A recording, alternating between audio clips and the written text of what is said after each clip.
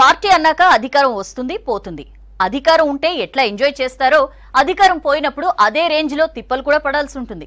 పవర్లో పూర్తిగా అలవాటు పడిపోతే ఆ తర్వాత రోల్ మారినప్పుడు సర్దుకోవడం కష్టంగానే ఉంటుంది. ఇప్పుడు పార్టీలో అదే జరుగుతోంది. ఇల్లు సర్దుకోవడం మాట అట్లా ఉంచి పార్టీలో పెత్తనం కోసం ఇద్దరు లీడర్లు గాయగాయ అవుతున్నారట.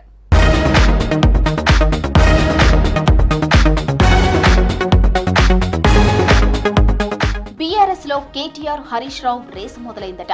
ఇద్దరి మధ్య కొంతకాలంగా ఆధిపత్య పోరు నడుస్తుందని క్యాడర్ ఓపెన్ గానే మాట్లాడుకుంటున్నారట.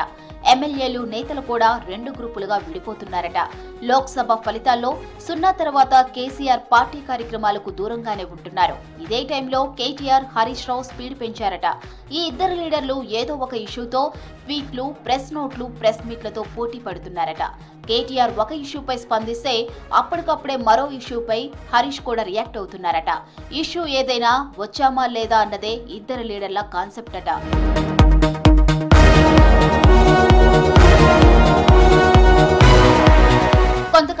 కేటీఆర్ హరీష్ రావు ప్రచారంలో పోటీ పడుతున్నట్టే కనిపిస్తుందట. కేటీఆర్ ప్రెస్ మీట్ పెడితే దానికంటే ముందో వెనుకో హరీష్ రావు చిట్చాట్ చేయటం హరీష్ రావు ప్రెస్ మీట్ పెడితే కేటీఆర్ చిట్చాట్ చేయటమో చేస్తున్నారట. ఇద్దరు ఎక్కడా తగ్గకుండా వార్తల్లో ఉండేలా ప్లాన్ చేసుకుంటున్నట్టు పార్టీ నేతలే మాట్లాడుకుంటున్నారట. తెలంగాణ భవన్లో సిటీ ఎమ్మెల్యేలతో కేటీఆర్ సమావేశం పెట్టుకున్నారు. అంతకంటే ముందే తెలంగాణ భవన్లో హరీష్ రావు చిట్చాట్ చేశారు. ఇట్లా ఒకరితో మరొకరు పోటీ పడుతున్నారట.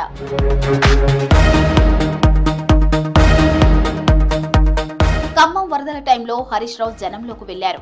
అప్పుడు అమెరికాలో ఉన్న కేటీఆర్ ట్వీట్లతో సోషల్ మీడియాలో ఉన్నారు. కౌశిక్ రెడ్డి అరికిపూడి గాంధీ ఎపిసోడ్లోనూ హరీష్ లీడ్ రోల్ ప్లే చేశారు. అమెరికా నుంచి వచ్చిన వెంటనే కౌశిక్ రెడ్డి ఇష్యూలో ఎంట్రీ ఇచ్చారు కేటీఆర్. ఆ తర్వాత హైడ్రాపై హరీష్ తెలంగాణ భవన్లో మీటింగ్ పెడితే ఎమ్మెల్యేలను తీసుకొని గ్రౌండ్లోకి వెళ్ళారు కేటీఆర్. మంత్రి కొండా సురేఖ్ను బీఆర్ఎస్ సోషల్ మీడియా టార్గెట్ పై హరీష్ సారీతో ఎండ్ కార్డ్ వేయాలని చూశారట. సీన్ కట్ చేస్తే తెల్లారే తెలంగాణ భవన్ మీడియా చిట్ చాట్తో కేటీఆర్ రెచ్చగొట్టేలా చేశారన్న చర్చ జరిగిందట. అంతేకాదు హరీష్ కామెంట్లను కేటీఆర్ కార్నర్ చేసినట్టే కదా అని పార్టీలో మరో వర్గం డిస్కషన్లో పెట్టిందట.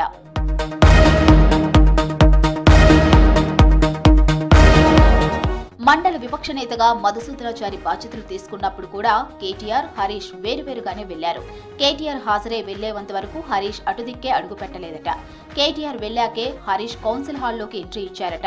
ప్రొఫెసర్ సాయిబాబాకు నివాళులర్పించేందుకు హరీష్ ముందు వెళ్తే ఆ తర్వాత కేటీఆర్ వెళ్ళారు ఇక్కడ కూడా ఇద్దరు వేరియేషన్ చూపించారని పార్టీ లీడర్లలో చర్చ నడుస్తుందట.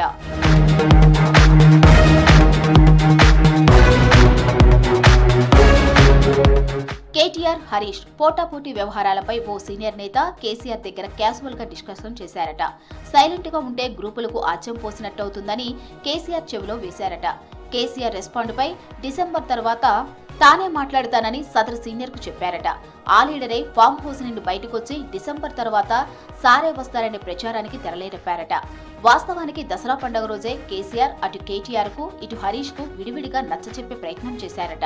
అయినా ఆ ఇద్దరు లీడర్లలో ఏ మార్పులు కనిపిస్తలేదట.